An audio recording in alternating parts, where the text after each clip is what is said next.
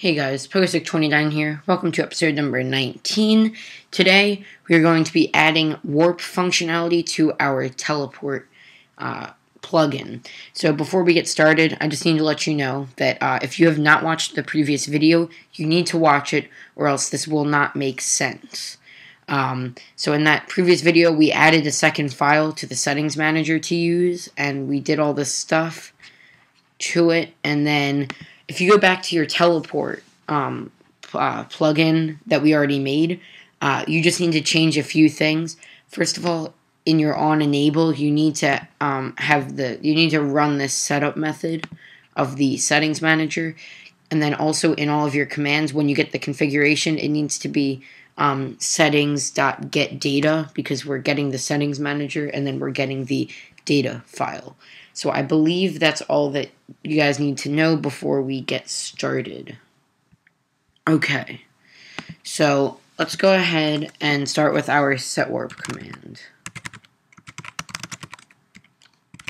Let's ignore case set warp.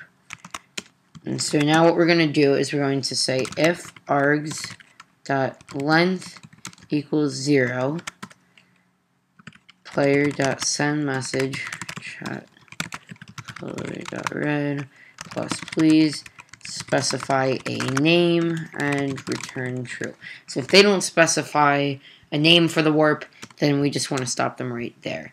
And now what we're going to do is we're going to do the warp settings. We're going to do settings dot get data dot set warps dot plus args 0 plus dot x to p dot get location dot get sorry dot get x. And now what this does is it makes this warps dot arg0 dot x. So it makes a category called warp, the configuration section called warp, and then in that it makes another section that's you know the argument that they supply, which is the name of the warp, and then it sets the x. So you'll see a category called warps, and then a subcategory with the name of the warp, and then under there you'll see the X, the Y, the Z, and the world information. So let's go ahead and change a few things. You're going to want to just do this, dot get world, and then dot X, dot Y, and dot Z, get X, get Y, and get Z. And then settings dot save data and p dot send message. Chat colored dot green. And we're gonna say um, set warp and then we'll tell it the name. And that is all there is for a set warp command. Now let's go ahead and do a warp command and then we're gonna do a delete warp command. Cmd dot get name dot equals case. Warp and then again, you can just copy and paste this because we want to make sure that they specify the name. And then we are going to do, uh, sorry, world W equals, um, you can just copy this equals settings dot get data dot get, sorry, equals Bukkit dot get server dot get world settings dot get data dot get string and then just go ahead and paste it right there. And it's warps dot whatever dot world. Okay and then you're going to say double x equals settings dot get data dot get double um, warps dot arg zero dot x.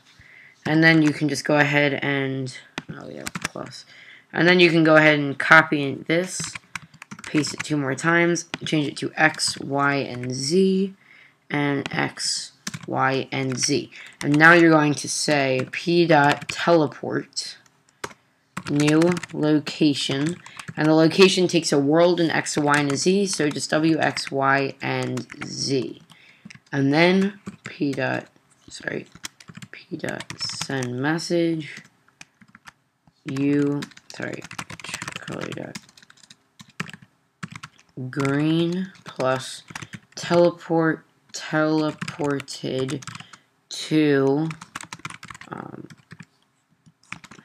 uh, whatever the warp is. And plus right there. And finally, the delete warp command. If cmd.getName dot equals ignore case del warp, uh, and then just again copy and paste this. And now what we're going to do is we need to check if it, we need to make sure that this warp that they're trying to delete exists. So we're going to say if exclamation point exclamation point settings dot get data dot get configuration section warps dot plus args zero.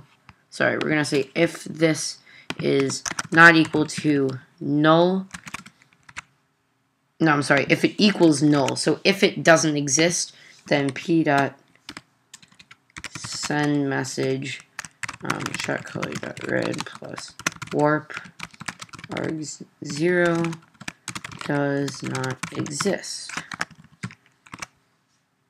Oh yeah, and also in the um, warp command, we also need to copy this right here and paste it, and also add the return true because if it doesn't exist, then we don't, then we can't try to send them there. Forgot about that.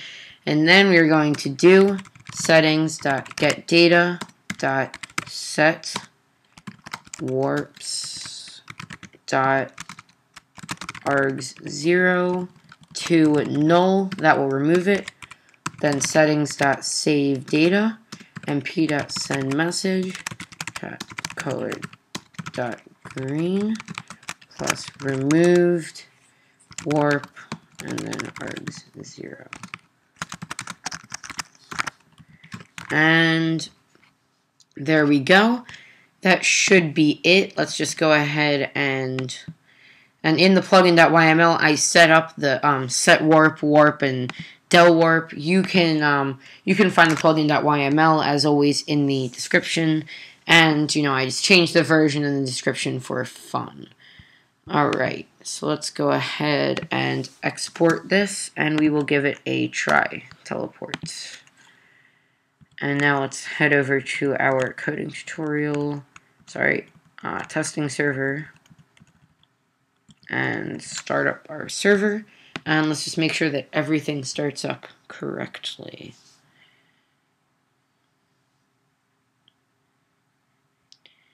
Okay. Ah, so it does look like we have an error, and it said that it could not create the data.yml file.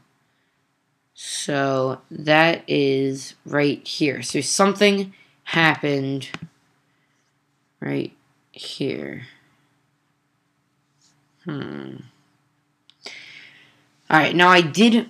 This has happened to me before, and I found that the way around this is that you can... Let's see. Ah, I see. So, the way around this is... Uh, let me just see. Create...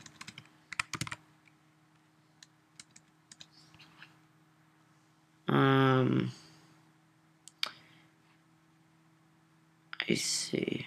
Okay, so we actually need to change this to remove that. Okay, so there we go. I think that um, the problem was we were trying to make a file called teleport, but we really wanted to make the directory called teleport. So let's go ahead and, uh, okay, I have that deleted. Let's see if it works this time. And there we go. Our teleport is there, and our data.yml is there. Okay. So now that now that everything generated properly, we can go ahead and go onto our test server. Alright, let's go ahead and join our localhost server. And okay, First, I'm going to really quickly show you that you cannot um, go to a warp or uh, delete a warp unless it exists. So just um, warp, you know, whatever, or warp uh, or del warp, you know, whatever. Okay, so now let's go ahead and actually try everything out. So we have our heal sign right here from our previous plugin. So let's go ahead and set warp heal sign. And as you can see, it set the warp. Let's keep our, let's open up our data.yml. And as you, ah, that's right. I forgot one other thing. That when you set a warp, you want to do get name. Set warp. Okay. So, uh, because then you'll get all this. This is all the different information that's stored in the world file. So what we actually want to do here is the world's name is world. So um, we'll just go ahead and change it rather than have to re-export everything. So now we can go ahead and uh, warp heal sign. And as you can see, it took us right there. If we um, if we go walk away, let's eat some apples. Uh, okay, so if we walk away and then we go warp there, you'll see it'll take us there. And now if we go ahead and del warp heal sign, it removed the warp. So let's check our data.yml. And as you can see, that warp was removed.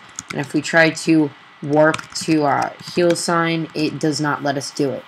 So there you go, guys. You just learned how to generate another configuration file. Uh, you know, fix that up a little bit, and you learned how to make a, a uh, warp, set warp, and del warp commands to uh, uh, add to our teleport plugin. So as always, comment with what you want to learn, subscribe if you want to see more, and I will see you guys next time. Bye.